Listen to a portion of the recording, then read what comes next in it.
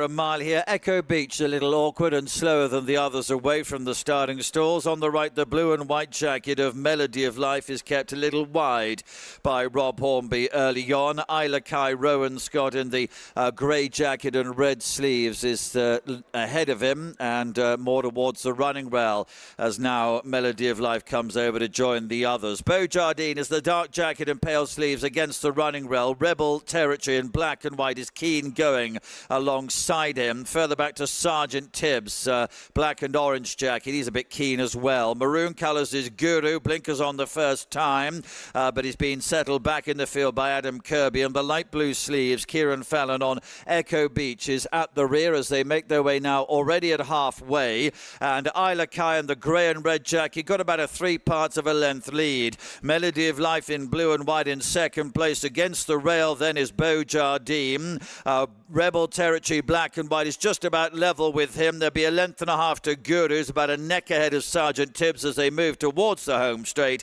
Echo Beach is still at the rear of the field. They level up for home, just over two furlongs to go. Isla Kai continues to be the leader. Melody of Life in second. On the left is Beau Jardine, shaken up to come with a run. Rebel Territory behind those. Echo Beach trying to close from the back of the field. Guru is next as they head down towards the last furlong, and Isla Kai is holding them at the moment.